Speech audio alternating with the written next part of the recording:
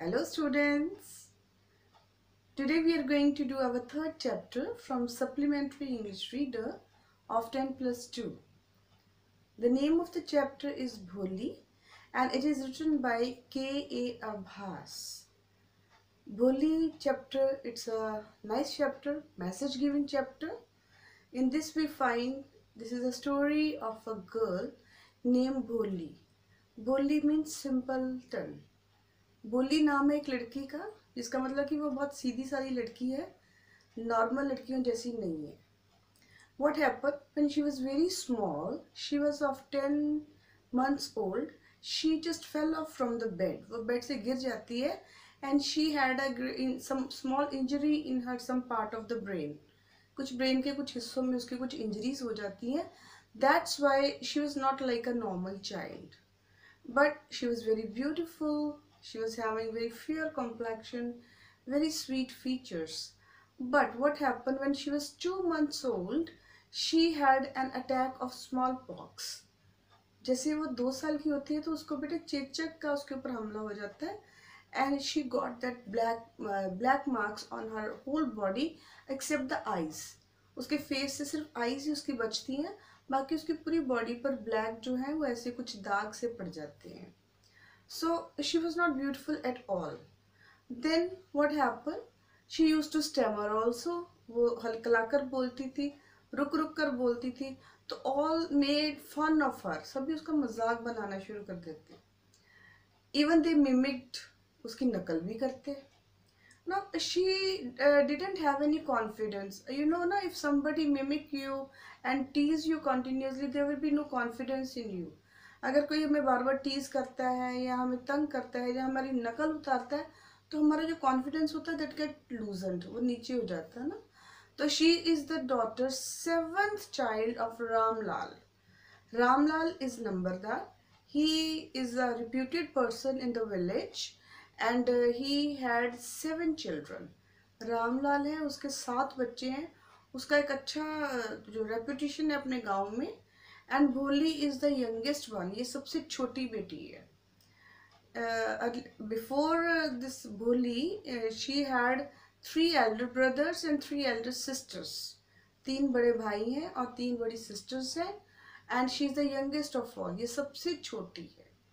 Now the brothers they were sent in the city for good school education and then for the college but girls uh, they are uh, they are not educated the eldest one is radha she's married and the another one is mangala she's about to marry उसकी शादी जो है वो होने वाली है and the third one they are searching a groom for that girl also now the fourth girl is Bholi okay she never had gone to school वो कभी स्कूल नहीं गई है तो one day what happen when Mangala got married अब मंगला की जब शादी हो गई in the same year a school was open in that village उस विलेज में एक स्कूल खोला जाता है and the tehsildar of that village he inaugurate the school tehsil जो दार जो है, वो स्कूल की इनाग्रेशन करता है and during that inauguration he said to Ramlal that you have daughters you you should send your daughters to the school वो रामलाल को कहता है कि तुम्हारी बेटियाँ हैं तो तुम अपनी बेटियों को स्कूल में भेजो पढ़ने के लिए। रामलाल एग्रीड रामलाल मान जाता है। But the wife of Ramlal she didn't agree वो नहीं मानती। वो कहती है कि if we send our daughters to the school nobody will be there to marry her कि अगर हम अपनी बच्ची को भेजेंगे स्कूल में तो कोई भी उसके साथ शादी नहीं करेगा। Then she got an idea फिर उसके दिमाग में एक आइडिया आता है why shouldn't we send Bholi to school? Because uh, she's abnormal, she's simpleton, moreover she's not beautiful, so nobody is going to marry her. उसके दिमाग में आता है कि क्यों ना हम लोग भोली को भेज दें थर्ड नंबर की बेटी की बजाय हम लोग भोली को भेज दें क्योंकि एक तो वो सुंदर नहीं है एक वो स्टैमर करती है हलकलाती है और उनका कोई विचार नहीं है उसका कोई शादी करने का ना वो सुंदर है तो कहते कि चलो एक तो तहसीलदार की बात भी रखी जाएगी and she will get a little bit knowledge और इसको थोड़े समझ भी आ जाए। सो Ramlal he took Bholi to the school she was well dressed on that day and she was very surprise because she wore her own clothes earlier she use to wear the clothes which are already worn by her sisters आज उसको अपने कपड़े पहनने के लिए दिए गए हैं, जबकि नॉर्मली वो अपनी बहनों के जो पुराने कपड़े होते थे, वही पहनती थी. तो she was very much surprise कि what is going to happen with her वो हैरान है कि आज उसके साथ क्या होने वाला है। Then she was sent to the school and they there Ramlal handed over Bholi to the headmistress वो वहाँ के प्रिंसिपल को इसको पकड़ा के आ जाते हैं। रामलाल की आप ये मेरी बेटी है तो आप इसकी एडमिशन कर लीजिए और इसे थोड़ा पढ़ाइए। Now she was sent to the class. When she entered that building, Boli didn't know what is this, she, but she was very happy that she had seen so many girls were sitting there. They were of her own age. So uh, in hearts of hearts, she was very happy. अब जब वो देखती है कि वो जहाँ वो गई है वहाँ पे बहुत सारी लड़कियाँ बैठी हुई हैं और उसकी एज की है वो बड़ी खुश होती है तो उसको नहीं पता होता कि ये इसको स्कूल कहते हैं then the teacher she called her teacher उसको बुलाती है कहती है कि व्हाट्स योर नेम आपका नाम बताओ. With very shyness she uttered भो भो एंड देन भो. अब ये भो भो मीन्स कि उसका नाम भोली है ना? But she is stammering so she can't speak her name properly वो थोड़ा स्टैमर करती है ना? तो उसको अपना नाम क्लियरली नहीं बोला जाता तो वो बहुत ट्राई करती है। As she tried all girls started laughing जैसे ही वो अपना नाम बोलने की कोशिश करती है तो सारी क्लास की गर्ल्स जो होती है, वो हंसना शुरू कर देती है। अब उसको बड़ा फील होता है। तो वो चुप करके एक साइड पे बैठ जाती है। नाउ द रिसेस केम अब रिसेस होती है। ऑल वेंट आउटसाइड सभी बाहर चले जाते हैं। तो that teacher she called Bholi again teacher Bholi को दोबारा बुलाती है and she asked her name again कहती कि अपना नाम बताओ।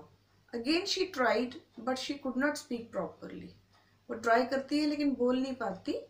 Then the teacher she help her to pronounce her name correctly फिर टीचर उसको बड़े प्यार से उसको अपना नाम बोलना सिखाती है। शी स्पोक इट वो बोल देती है। और उसमें थोड़ा कॉन्फिडेंस आता है। Then the teacher told Bholi that if you will put off your fear from your heart, only then you will be able to face the world. उसने कहा कि अगर बच्चे तुम अपने आप अपने मन से ये डर निकाल दोगे तभी तुम इस दुनिया का सामना कर पाओगे। Now gradually she had some confidence daily she went to school and she was given some books वो डेली स्कूल जाती है तो उसको ना कुछ किताबें जो है वो उसकी मैम जो है वो दे देते she read and she uh, felt very nice on seeing different pictures on the books. And now gradually she started learning every day अब उसको एक किताब दी जाती है और वो उस किताब को पढ़ती है। बहुत उसको मज़ा आता है किताब पढ़ने में और फिर वो उसका इंटरेस्ट बन जाता है। वो अलग अलग पिक्चर्स देखती है सब कुछ। इस तरह से वो बड़ी हो जाती है। ना all the sisters got married अब उसकी बाकी सिस्टर्स की जो है, वो मैरिज हो गई है। Now she became mature she become grown up अब वो भी यंग हो जाती है, जवान हो जाती है। तो on the near by village there was one grocer his name was Bishambar एक ग्रोसर होता है, वो उसकी शादी उसके साथ तय हो जाती है।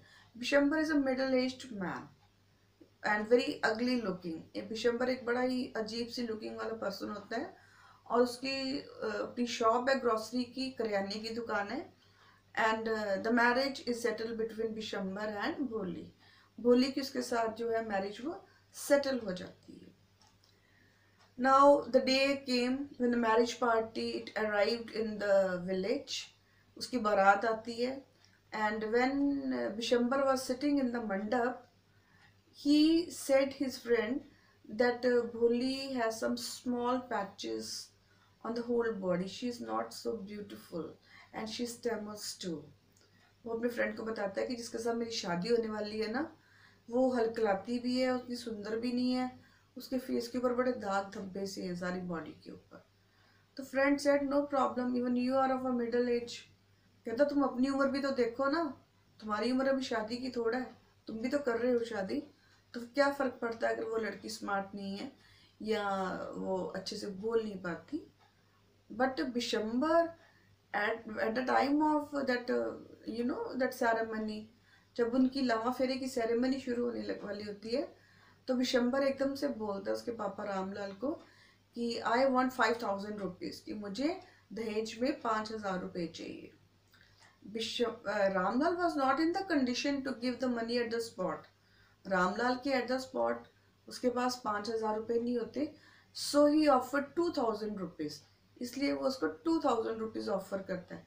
But Bishambar did not agree लेकिन विशंबर नहीं मानता।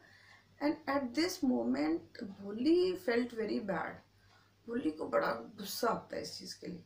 She out she just take off her garland from the neck and threw it in the, the fire.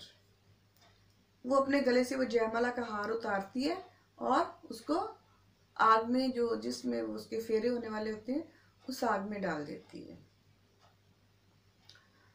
Uh, all felt very bad. One of some of the ladies they said that uh, the elderly woman they said that uh, now she's shameless girl.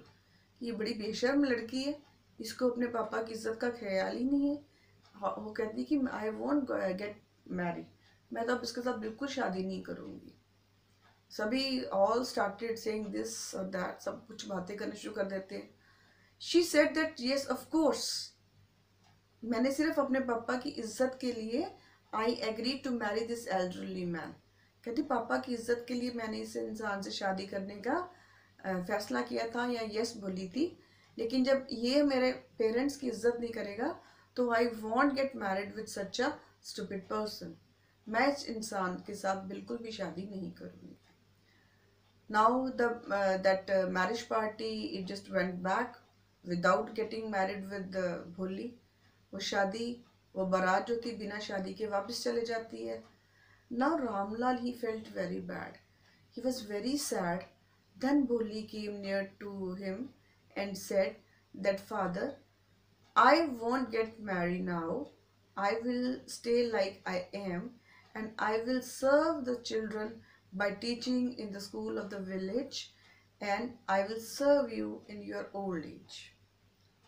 भोली अपने parents के पास जाती है और कहती है कि पिताजी, मैं शादी नहीं करूँगी और स्कूल के जो बच्चे हैं, उनको मैं पढ़ाऊँगी और आपकी, अब सारी उम्र में आपकी सेवा करूँगी।